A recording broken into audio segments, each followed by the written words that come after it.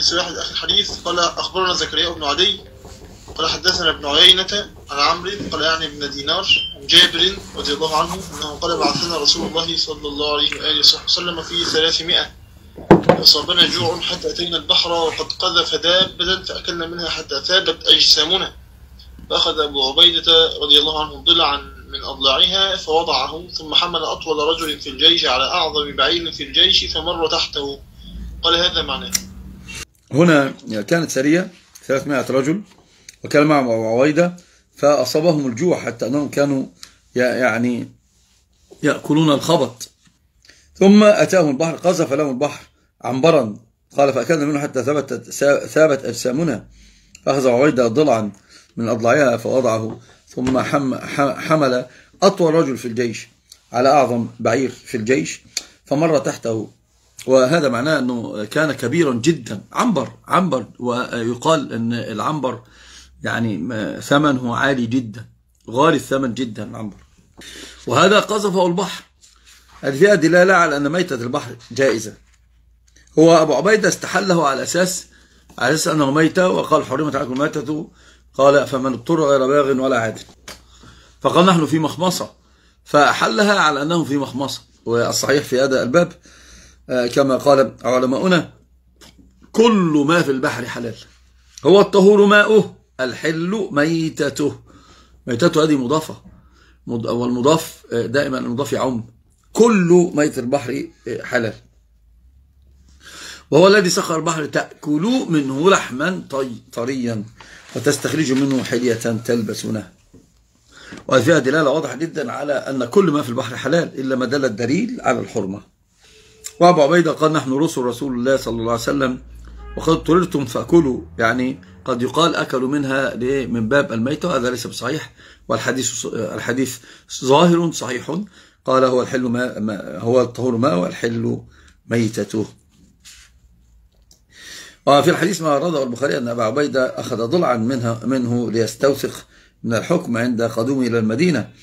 قال فلما قدم المدينة ذكرنا لذلك لرسول الله صلى الله عليه وسلم فقال كلوا رزقا أخرجه الله. أطعمونا إن كان معكم فأتاه بعضهم بعض فأكله الله أكبر. أوجد الدلالة من هذه الرواية. أنه بلغ في البيان بأكله منها. ولم يكن مضطرا فاستفيد منه إباحة ميتة البحر سواء مات بنفسه أو مات بالاصطياد وهذا قول جمهور وهو صحيح خلافا للأحناف الذين يرون أن الطفية ميتة لا تحل أكلها وهذا خطأ بين. والصحيح كما قال الجمهور كل ما في البحر حلال حل أكله. لأن الإنسان قال هو الطهور ماء الحل ميتته. وشوف انظروا هنا سعة رزق الله جل وعلا. خرجوا على الله. ما في بقى الآن نقول لكم ما قالوا هؤلاء الذين يعوننا أو نستعين بغيرهم ولا نستعين بمن؟ خذلونا فنحن الله جل وعلا لا يغسلكم إن نصرتوه لا يغزركم إن نصرتم الله لا يغزركم وإن أردتم الله جل وعلا أراد الله لكم ما تريدون. خرجوا وما عندهم طعام يأكلون ورق الشجر. فأخرج الله لهم عنبرا. بطول وعرض البحر. شو انظروا يعني كان أي أي قوة وأي وأي لحم وأي أيضا يعني سمن وودك. أخذوه أخذوه أكل أكلوه وكانوا يمشون تحته العين فقط يجلس فيها أحد. عليكم السلام عليكم حبيبي.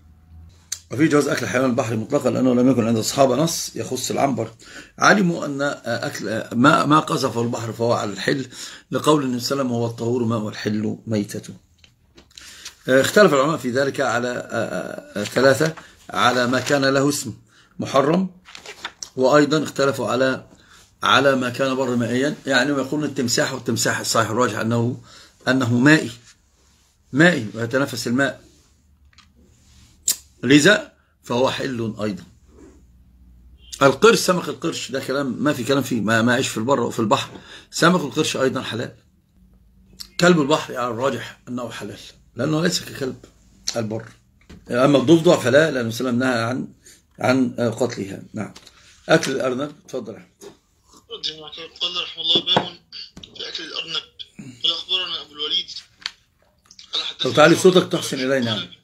قال هشام بن زيد بن أنس أخبرني قال سمعت أنس بن مالك رضي الله عنه يقول أنفجنا أرنبا ونحن بمر الظهران فسعى القوم فلغبوا فأخذتها وجئت بها إلى أبي طلحة فذبحها رضي الله عنه فذبحها وبعث بوركيها أو قال فخكيها قال شك شعبة رحمه الله.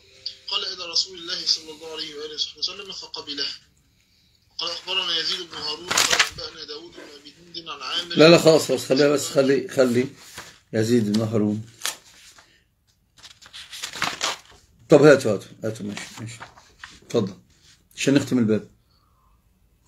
قال عن محمد بن صفوان أنه مر على النبي رضي الله عنه أنه مر على النبي صلى الله عليه وصحبه وسلم بأرنبين معلقهما.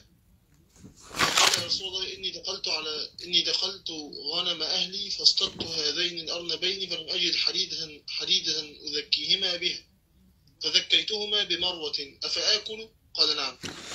هنا فيها أمور الأمر الأول بأنه قال أنفجنا يعني أثرنا أن أنا أثروه من أجل الاصطياد يعني. هيجوه يعني. أنفجنا أرنبا يعني أو استنفجنا أرنبا. والأرنب بالذات سريع جدا ممكن يكون أفضل من الغزال في المراوغة. في رجلها طول بي- بيعطيها السرعة. أدركها لغب القوم ما استطاعوا أن أن أن أن أن يحصلوها فأدركها هو أنس وأخذها. قال فأتيت بها أبا طلحة فذبحها وبعث الرسول صلى الله عليه وسلم بوركها فخذها وفخذها وأبو طلحة شوف هو زوج أمه ولما بعث إلى النبي صلى الله عليه وسلم بوركها أكله النبي صلى الله عليه وسلم جواز على هذا دلالة على جواز أكل الأرنب وهو قول آه، كافة العلماء. إلا ما جاء في قراءتها عن عبد الله بن عمر عن عكرمة من التابعين وعن ابن محمد بن أبي ليلى من الفقهاء واحتج واحتج بحديث خزيمة بن جزء. قلت يا رسول الله ما تقول في الأرنب قال لا أكل ولا أحرمه. قلت فإني أكل آه، فإني أكل ما لا تحرمه. آه، لما يا رسول الله؟ ولما يا رسول الله؟ قال نبئت أنها تدمي وسند ضعيف ولو صح لم يكن فيه دلالة يعني هي بتحيض وما أدري إذا كانت تحيض أم لا لكن أكثر من أخ قال لي أنها تحيض والحيض ليس مانعا من حل أكلها والذي خلق لكم ما في الأرض جميعا. وأيضا فيها جواز استثارة الصيد من أجل أن يصيده من أجل أن يأكله.